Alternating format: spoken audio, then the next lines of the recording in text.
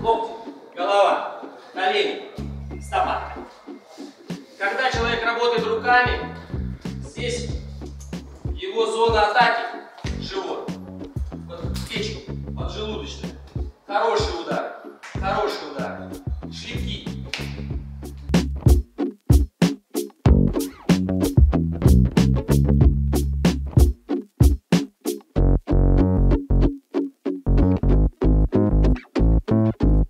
Во-первых, э, считаю нашу профессию достаточно экстремальной, и мы должны уметь защищать себя. И, наконец, удалось увидеть, как это сделать на практике. Я думаю, что подобные мастер-классы должны быть э, на форумах журналистики в Сочи.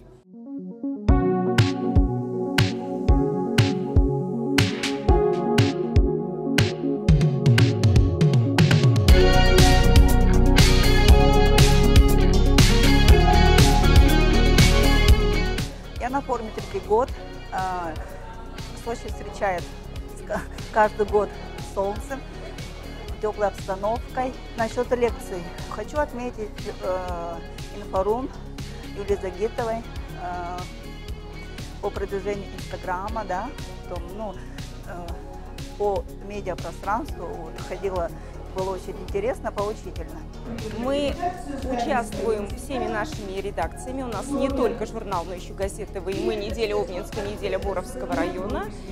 И надо сказать, что для нас форум – это в первую очередь оценка нашей профессиональной деятельности, разбор наших творческих полетов с точки зрения профессионалов. И э, два года мы были номинантами этого форума. А, и журнал «Обнинск Лайв» брал призовые места, и все наши газеты.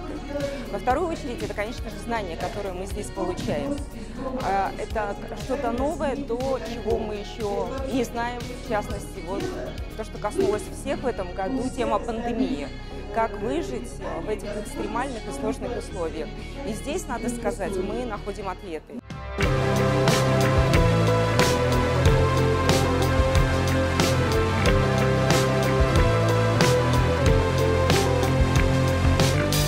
Третий год приезжаем, ежегодно приезжаем сюда за новым опытом. Нет какой-то помпезности, ну, как бы все с пониманием к этому относятся, есть даже, наверное, в этом какой-то, может быть, плюс э, как-то более спокойно все постепенно проходит. Я все-таки представляю журналистов. Мои журналисты, мои родители. Но все-таки э, я постоянно везде выступаю, то есть Конечно, в никаком издательском доме я не работаю, это противоречит российскому законодательству, но очень хотел бы. Да. Я опять же посетил э, лекции, которая была в зале под люстрой про правозащитную деятельность региональных отделений. А еще хотела посетить, э, посетить про э, решение проблемы СМИ союзного государства.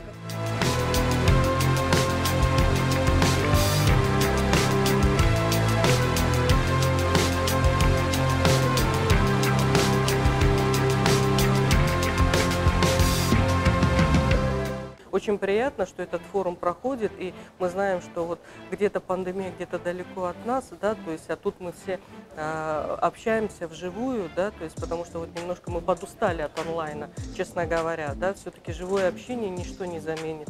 И то, что нам Союз журналистов организовал, это профессиональное живое общение, вот в этих условиях, за это, конечно, огромное спасибо, потому что это приносит на самом деле большую пользу. И сейчас я думаю, что вот профессиональное сообщество, сообщество оно как никогда нуждается друг в друге.